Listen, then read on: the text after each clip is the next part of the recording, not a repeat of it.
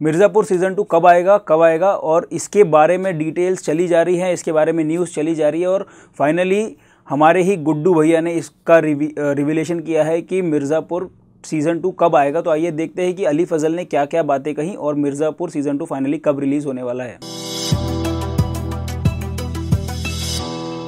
Hi guys Mirzapur season two के लिए गुड्डू भैया मतलब अली फजल ने बहुत बड़ा एक रिवीलेशन किया है, बहुत बड़ी चीज़ एक रिवील करी है कि सीज़न टू जो है, उसकी फाइनली शूटिंग कंप्लीट हो गई है और वो एडिटिंग फ़ेज़ में है और वो अर्ली 2020 में आएगा और उनके हिसाब से और बाकी रिपोर्ट्स के हिसाब से अप्रैल फ़र्स्ट वीक में मिर्ज़ापुर सीज़न टू रिलीज़ हो जाएगा अमेज़ॉन प्राइम पे। अगर इसके फ़र्स्ट सीज़न की हम लोग बात करें तो फ़र्स्ट सीज़न जो आया था वो 2018 में आया था, नवंबर 2018 में और काफ़ी एंगेजिंग स्टोरी थी मतलब कालीन भैया, गुड्डू पंडित मुन्ना, इन लोगों ने बहुत ही बढ़िया एक्टिंग करी थी।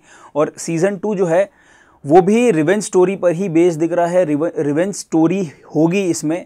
और इसमें भी हमको लग रहा है कि जैसा कि पहले जो फ्लेवर हमको मिला था मिर्ज़ापुर का, वो फ्लेवर इसमें मिलेगा। तो अली फजल ने कुछ चीज़ें और बताई हैं कि उनका कैरेक्टर कैसा होगा। तो देखते हैं कि उन्होंने क्या क्या बोला अली फजल के हिसाब से, इस बार जो सीज़न है, उसमें काफ़ी सारी चीज़ें ऐड होने वाली हैं। और इस बार obviously the stakes are much higher और उनके हिसाब से उनका जो कैरेक्टर है इस बार थोड़ा अलग होगा, थोड़ा डिफरेंट होगा। और उन, उन्होंने कहा है कि it is it was bit frustrating playing this time मतलब इस बार उन्होंने जो रोल प्ले किया है गुड्डू पंडित का, उनको इस बार फ्रस्ट्रेशन हुआ है। और उन्होंने ये भी बोला है कि इस बार हमसे चार पाँच बार ही देख पाएँगे कि गुड्डू पंडित का जो हमने सीज़न वन में रोल देखा था, इस बार हमको उसके सिर्फ़ ग्लिम्सेस मिलेंगे और चार पाँच बार ही हमको वो ग्लिम्सेस मिलेंगे। मतलब गुड्डू पंडित जो है वो एकदम नए अवतार में इस बार हमको दिखाई देगा।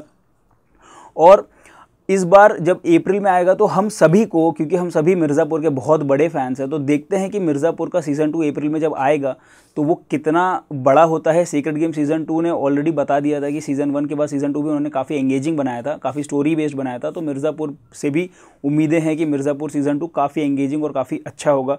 सभी बड़े बड़े मंझे हुए एक्टर्स हैं तो उस आने वाली डेट तक अप्रैल तक अगर कुछ और न्यूज़ आती है तो हम आप तक ज़रूर लाएँगे। तो अगले आने वाले वीडियोज़ तक आप लोगों का बहुत बहुत शुक्रिया। थैंक यू दोस्तों।